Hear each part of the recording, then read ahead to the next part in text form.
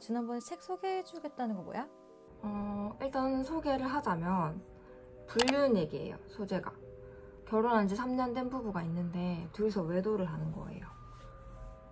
여주는 원래 영국에서 유학을 하다가 일본으로 돌아와서 봉제 인형 같은 거 만드는 사람이거든요. 이런 거나 아니면 이런 거. 근데 그게 영국에서부터 잘 팔려서 개인 전시도 하고 집에서 프리랜서로 지내는 사람이고 남편은 그냥 평범한 회사원? 특별한 일 없으면 제 시간에 꼬박꼬박 들어오고 여자가 요리도 잘해서 퇴근할 때마다 막 저녁 차려놓고 겉보기에는 되게 잘 사는 부부 같거든요. 근데 좀 둘 사이가 이상해요. 왜? 일단 저녁 식사가 딱 끝나자마자 남자가 방에 들어가요. 그리고 문을 잠그고 자기 전까지 게임만 하는 거예요. 그럼 여자는 그냥 혼자 거실에서 봉제 인형 만들다가 문자로 남자한테 차 마실래요? 라고 물으면 남자가 네 하면 차랑 과자 들고 방에 갖다 주고 또 거실이랑 방에서 각자 할 일 하고 약간 억지로 결혼한 느낌? 문자로 대화한다고? 진짜 그러네. 막 딱히 어떤 이유가 있어서 그런 건 아니고 그냥 서로 너무 달랐던 거죠. 여주는 되게 예민한 사람이고 남주는 무력. 그래서 처음에 방문 잠그고 게임 할 때도 여주가 한 소리 한 거죠. 아, 방문을 왜 잠그냐고. 그지? 그럼 남주는 또 화를 내지는 못하고 하지 말라니까 하면 안 되는갑다.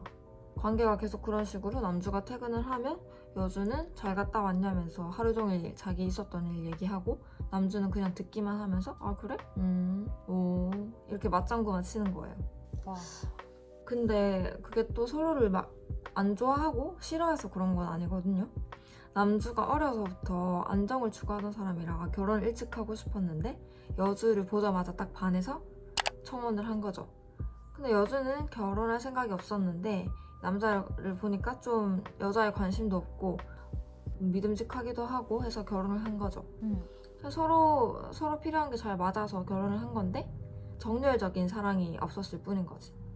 그냥 때가 됐고 이 사람이 적당하다 싶으니까 결혼을 한 거구나. 그런 결혼 생활을 별탈 없이 유지를 하다가 비슷한 시기에 각자 새로운 사람을 만나게 돼요. 여주는 자기 전시를 보러 온 어떤 남자가 자기가 만든 인형을 엄청 사고 싶다고 알고 보니까 같은 동네여서 비디오 가게에서 몇 번 마주친 거예요. 그러다가 몇 번 만나니까 서로 호감을 가지게 돼서 음. 약간 관계가 발전한 거지. 음. 바람인가?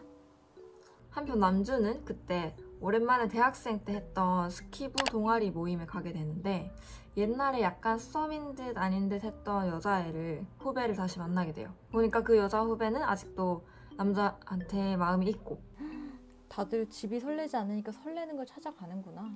그치 집에서는 편안하게 지내더라도 그런 설렘이 좀 그리웠겠죠. 그래서 여주는 남주가 회사 가 있는 동안 그 전신남 집에 갔다 오고 남주는 회사 점심시간에 여후배 불러서 모텔 가고 그러면서도 둘 다 집에는 꼬박꼬박 돌아오는 거예요. 근데 이게 여주랑 남주랑 입장이 좀 다른 게 여주는 남편만 사랑하고 싶은데 남편이 너무 목석 같으니까 친구한테 전해서 어, 나 연애해.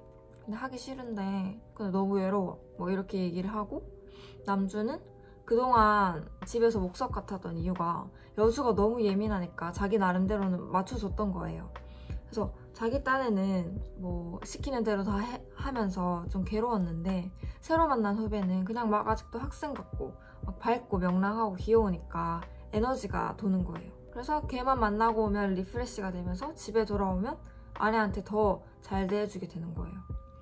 그러니까 여주는 외로워서 바람을 피는 거고 남주는 지금 관계를 더 잘 지키기 위해서 바람을 피우는 거지.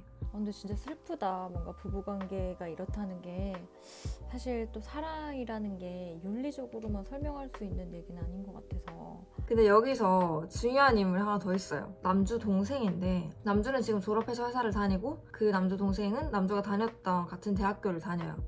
근데 그 남주가 했던 스키부 동아리를 든 거예요. 그래서 이 여동생은 자기 오빠가 여후배랑 바람이 난 걸 알아요. 그래서 따로 남주를 찾아가서 그냥 들키지만 마 이러고 나중에 세연이한테 찾아가서 그러니까 여주한테 찾아가서 되게 무심한 사람일수록 되게 시시한 여자한테 끌리더라 이런 식으로 언지를 던져요. 그 말을 여동생한테 듣고 나서 여주가 엄청 감정이 이상한 거지. 그래서 그걸 듣고 어떻게 했냐면